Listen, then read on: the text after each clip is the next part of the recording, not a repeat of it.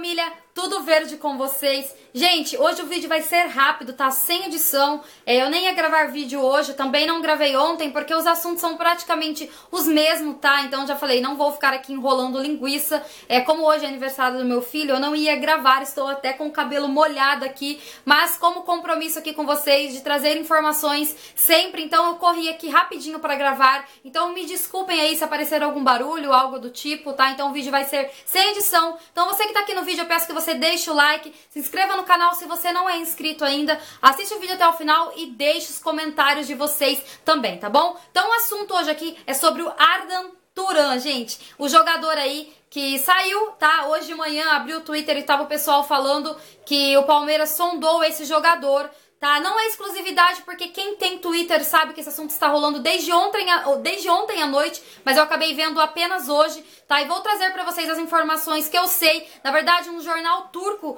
é, que postou isso, dizendo que o Palmeiras tinha interesse nesse jogador, o jogador de 32 anos, que tem parte dos seus direitos econômicos aí é, vinculado com o Barcelona, tá bom? Então, até que ponto é, seria boa a contratação ou ruim pro Palmeiras. Eu vou falar um pouquinho sobre ele, tá? Como eu disse, é um jogador de 32 anos. Pra mim, é, eu já acompanhei o futebol dele, já vi ele jogando, mas pra mim o melhor é, a melhor atuação dele foi em 2015, tá? A melhor atuação dele foi pelo Atlético de Madrid. Não sei se hoje eu contrataria ele para ser um jogador do Palmeiras, mas pelo que tudo indica, gente, seria também por empréstimo, não seria nada. Palmeiras não compraria nada do tipo. Até acho é, um pouquinho meio esquisita essa história, porque esse mesmo site que divulgou essa que o Palmeiras estaria interessado nele, é, semana passada também falou que o Santos tinha interesse nesse jogador, nesse mesmo jogador, só mudaram é, o nome pro Palmeiras, né? Estão vinculando isso. Então, até que ponto isso é verdade?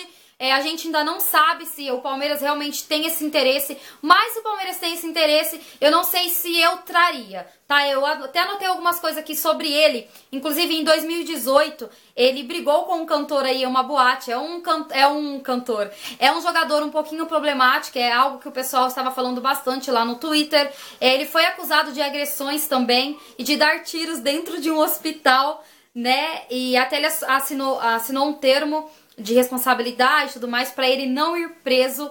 Então ele é um jogador problemático aí, é, fora de campo. E nós já temos jogadores problemáticos, né? Vide é, Daverson. Então, tudo bem que o Daverson acho que não chegou a esse ponto. Não, o Daverson não chegou. Não, Daverson não chegou a esse ponto aqui de agressão. Mas eu estou dizendo na parte de ser jogadores problemáticos. Então, não sei se isso seria algo bom pro Palmeiras. É, a gente tem o Felipe Melo, que também é um pouquinho esquentadinho, né? É, não sei até que ponto seria bom. Eu quero que vocês deixem a opinião de vocês aqui, até porque eu nem vou falar muito do extra-campo aqui dele, né? Eu vou dizer no que ele está representando hoje. Eu contrataria, eu ficaria empolgada com a contratação desse jogador se fosse lá em 2015. Hoje eu não sei, porque como eu disse, faz quatro anos que a gente não ouve falar desse jogador. E se eu não me engano, o ano passado ele teve 12 jogos apenas é, que, ele, é, que ele atuou mesmo como titular.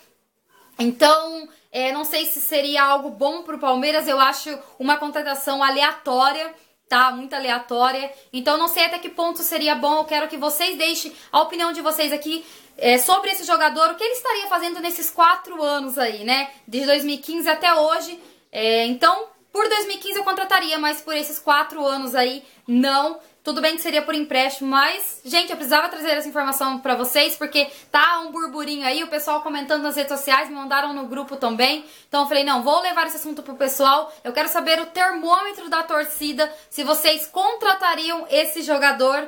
Né? Então deixe o comentário de vocês aqui. E se eu souber de outras informações, eu trago pra vocês. Até, uh, queria deixar um ponto aqui, uma vírgula.